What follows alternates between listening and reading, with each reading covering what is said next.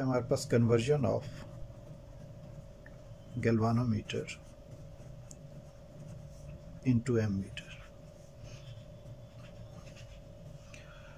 So what is the difference between ammeter and galvanometer? Galvanometer is a current measuring device but it measures very small amount of current. Whereas ammeter is also current measuring device but it measures large amount of current.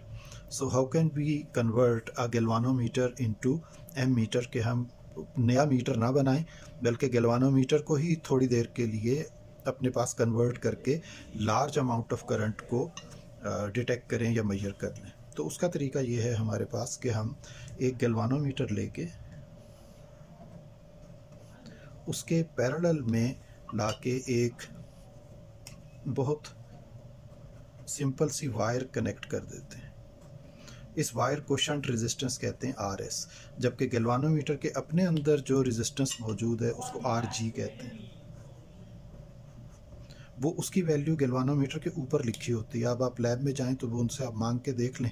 तो आमतौर पे दो values connect कर सकते हैं resistance की, उसके ऊपर। आप देखेंगे दो रेड पॉइंट पॉइंटर्स बने होंगे और एक ब्लैक होगा। ब्लैक कॉमन हो जाता है। रेड वाले पे एक पे कुछ और रेजिस्टेंस लिखी होगी और दूसरे पे कुछ और रेजिस्टेंस लिखी होगी तो वो आपकी मर्ज़ी है कि आप जिससे मर्ज़ी उसको कनेक्ट कर लें।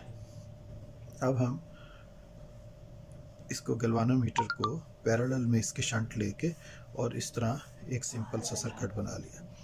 अब यह है कि इसको हम जब करंट प्रोवाइड करते हैं आई करंट तो यहाँ पे पहुँच के आई करंट के पास दो रास्ते हैं। कुछ करंट गलवानोमीटर में से गुजरे और कुछ करंट शंट में से गुजरे। और आगे जाके ये करंट दोबारा रिकलेक्ट हो जाए और उसको हम फिर मेन सर्किट में, जहाँ पे भी काम करने जा रही है, वहाँ पे भेज देंगे। लेकिन इस दरमियान के मेकनिज़म से उस लार्ज अमाउंट की करंट को हम मैयर कर लें। आप कैसे मैयर करें? ये इन्होंने जो मेकनिज़म है, ये बिल्कुल इस तरह का बनाया हुआ है कि जैसे आप एक एग्ज़ाम्पल लें कि हम कहते हैं कि किसी जगह पे जाने के लिए पहले एक छोटा सा ब्रिज था और उसके ऊपर से गाड़ियाँ जाती थी तो एक वक्त में एक ही गाड़ी गुजरती थी। जैसे पाकिस्तान के नॉर्दर्न एरियाज़ में आप देखें तो वो बड़े तंग तंग से पुल बने हुए। तो वो उसको, उसके पुल के ऊपर एक पर्सन बैठा हुआ है, वो काउंट करता है कि एक गाड़ी गुजर गई, दूसरी गाड़ी गुजर गई, तीसरी गाड़ी गुजर गई, इस तरह काउंट कर रहा है। हुकूमत ने क्या किया कि उसके पैरेलल में एक और जो है, वो पुल बना दिया। उस पर से एक वक्त में चार गाड़ियाँ गुजर जाती हैं, दो चली जाती हैं, दो आ जाती हैं। अब वो पर्सन बैठा हुआ छोटे पुल पे ये यहाँ से जब एक गुजरती है, वो लिखता है पाँच। क्योंकि उसको पता है कि दोनों जो ब्रिजेज हैं, वो इकट्ठे ओपन होते हैं तो यहाँ से जब एक गुजरेगी तो वहाँ से चार गुजर जाएँगी। तो हमने ऐसा ही किया कि इसके पैरेलल में एक पाथ ओपन कर दी है। यहाँ से कोई भी अमाउंट गुजरेगी तो कोई भी अमाउंट जब यहाँ से गुजरे तो उस जितनी अमाउंट हमने जो भी कम, इसकी कम्बिनेशन बनाई है तो हमें ये पता है कि बाकी अमाउंट आपकी जो है वो वहाँ से क्या होगी? पास कर जाएगी। तो वो अमाउंट ऑफ़ करंट को हम टोटल करके अपने पास कैलकुलेट कर लेंगे। अब उसके लिए उसके लिए हमें एक मैथमेटिकल जो है वो रिलेशन रिक्वायर है। वो हम कैसे बनाते हैं? हम ये कहते हैं कि जो आई करंट है, ये दो हिस्सों में तकसीम हुई। ऊपर की तरफ़ हम कहते हैं गलवानोमीटर में आई जी करंट चली गई और नीचे की तरफ़ बाकी करंट आई माइनस आई जी आ गई। उसको आई एस कह दिया, शंट करंट। अब गैल्वानोमीटर के अंदर जो रेजिस्टेंस है आर जी और जो शंट की रेजिस्टेंस है आर एस दोनों के ऊपर जो सर्किट में अप्लाई करने के बाद हमने देखा तो दोनों के ऊपर जो पोटेंशियल है, वो सेम आएगा। क्योंकि रेजिस्टेंसेस अगर पैरेलल में हों तो उन पे सेम पोटेंशियल अप्लाई होता है। V G is equal to V S तो इक्वेशन बन गई आई जी आर जी वी जी को आपने ओपन किया ओहम्स से। V S I S R S और आई एस किसके इक्वल है?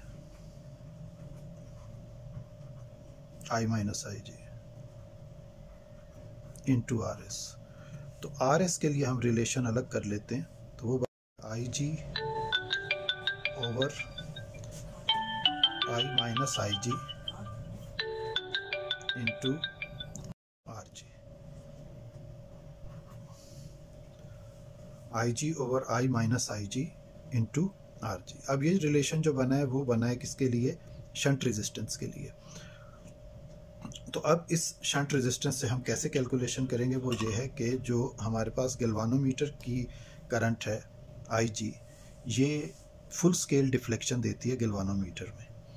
और आई वो करंट है कि जिसमें हम गलवानोमीटर को जिस रेंज में कन्वर्ट करना चाह रहे हैं, वो करंट आई है। मसलन, गलवानोमीटर की फुल स्केल डिफ्लेक्शन है टू मिली एम्पेयर आमतौर पे बहुत लेस होती है। और हम चाहते हैं कि ये अब 10 एम्पेयर तक मैयर कर लिया करे। ये हमारी रेंज है। और आर जी की वैल्यू जो है वो उसके ऊपर लिखी हुई, आमतौर पे गलवानोमीटर पे लिखी होती है 50 ओम वाला बटन भी होता है तो वो 50 ओम है। तो ये एक नुमेरिकल बन गया। How can it be converted into 10 ampere ammeter तो इसको हम सॉल्व कर लेते हैं कि इसमें वैल्यूज़ पुट कर दें। R S equals to two milli ampere two into ten dust power minus three over 10 minus 2 into 10 to the power minus 3 into RG की वैल्यू 50 तो ये तकरीबन बन गया टू इन हाँ ten dust power minus four into fifty five two zero point zero zero one. Zero one. Oh, okay.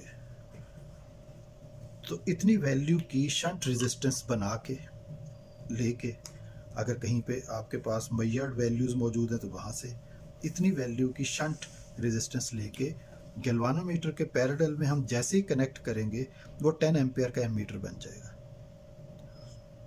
आप उसके आपने क्या करना है कि गलवान अगर उसको आपने परमानेंटली करना है तो फिर उसके नीचे से कैलिब्रेटेड जो पेज है, लगा हुआ होता है, जिस पे निशान लगे हुए होते हैं, पहले वाले, उसको हटा के तो नया पेज उसके नीचे लगा दें। यानी वो इस तरह का हो सकता है कि हम कहते हैं, यूँ, उसके गोल सा डायल है तो उसके ऊपर आपने ये इनिशियल ज़ीरो वैल्यू थी, ये यहाँ पे टेन थी।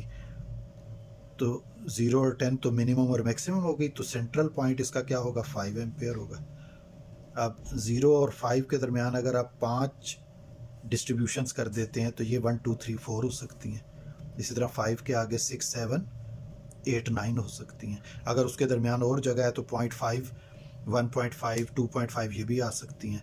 तो इस तरह आप उसको नया पेज कैलिब्रेटेड नीडल के नीचे डायल के ऊपर लगा देंगे तो वो आपका टेन एम्पेयर का एम मीटर तो पहले ही बना हुआ था, अब उस पर से आप इजीली क्या कर सकते हैं मेज़रमेंट कर सकते हैं। This is called conversion of galvanometer into ammeter